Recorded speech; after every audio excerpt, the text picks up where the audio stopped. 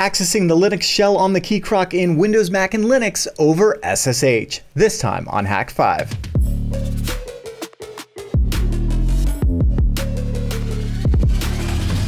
Hello and welcome to Hak5. My name is Darren Kitchen, and on this dose of Technolust, we are building on our Key Croc series. So follow along from the beginning if you haven't already. And for today, what we're going to do is set up SSH access. And this is really important because later on, when we start doing interactive payload development, this is one of the best ways to be able to connect to your Key Croc as it is connected to a target in attack mode and start throwing commands at it live and interacting with that target and building out those payloads. Uh, so we've talked about getting to the shell before in terms of serial access on Windows, Mac, and Linux using PuTTY or Screen or Minicom or whatever other you know uh, hyper terminal, if you will. Uh, however, today we're going to go ahead and connect to a very similar shell, except instead of over serial, it's going to be over SSH or secure shell, and this is going to uh, be part of the DNA of our payload development efforts. So this is definitely one to reference and setup couldn't be easier.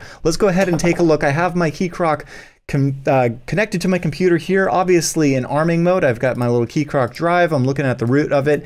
And all we have to do to enable SSH is add this line right here. As we are building on our previous uh, videos, you'll see you literally just give it your Wi-Fi SSID and password, and then do SSH enable. So that's going to enable the SSH daemon on the device, but there's one other thing, since we've got this in arming mode, we're going to want to do.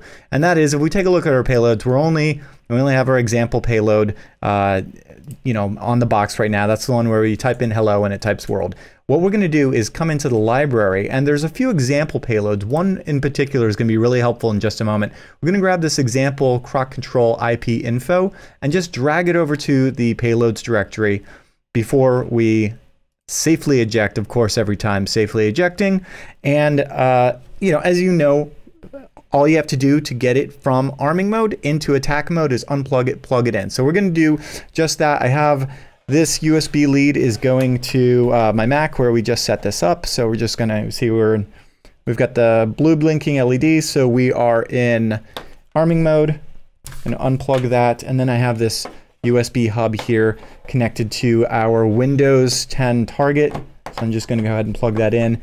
And then we have our uh, little keyboard set up here, a little wireless USB keyboard, but this would work the same with wired.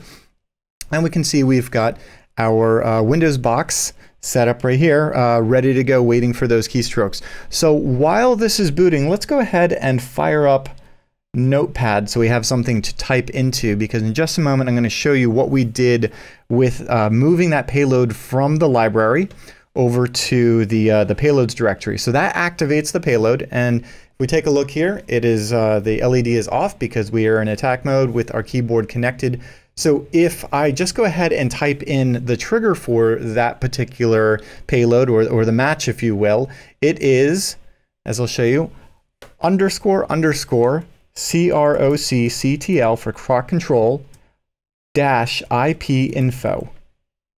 And you'll see it executes the payload, which quite simply just spits out uh, the IP address of the croc on this network, which is really convenient because I have a test network set up here in my lab. And now I can connect to it and I can have remote access to it. Now I know where it is on my network. So that just makes things a little easier uh, in development. Now, obviously, if you have just like a simple router setup, you can go into, say, your DHCP table and you'll probably just see it there, croc, and it's the same IP address. So with that, I can now from my terminal. Uh, and this is going to be the same whether it's on a Linux box or on a uh, Mac. And very similarly, in 2020, oh, finally, on a, a, Windows machine. So the same command, SSH, the user's root at, and then that IP address. So what was it, 192.168.0.137. Yours is going to obviously be different. We get the key fingerprint and we say, yep, that looks good to me. And of course, our password. And now we are connected to our keycroc. So let's go ahead and take this uh, just a step further and get a little bit meta because remind because uh, mind you I have this connected to our Windows target so if we switch over to that machine we'll see we're in Notepad and we have PowerShell right behind there so let's have a little fun with this since we're SSH'd into our keycroc here let's issue quack alt tab and mind you, you know, on the right we have our Windows box that it's connected to, and now we're interacting live and we've alt tabbed over to our PowerShell. So let's do, and just demonstrate that it's very similar now in PowerShell to do SSH. You just do quack string, and in quotes, I'm going to put SSH root at 192.168.0.137, and then quack, enter,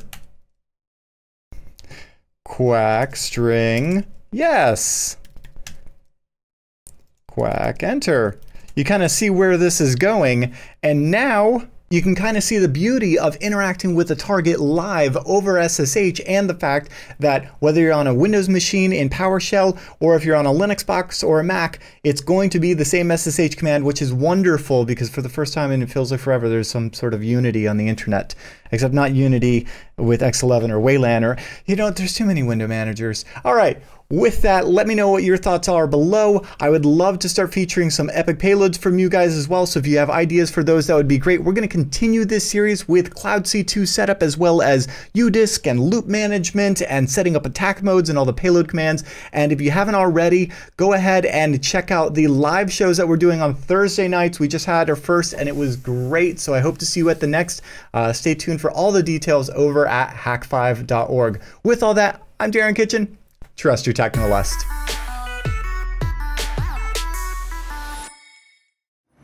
Thanks for supporting Hak5. Find all our shows, community, and pentest products at hak5.org.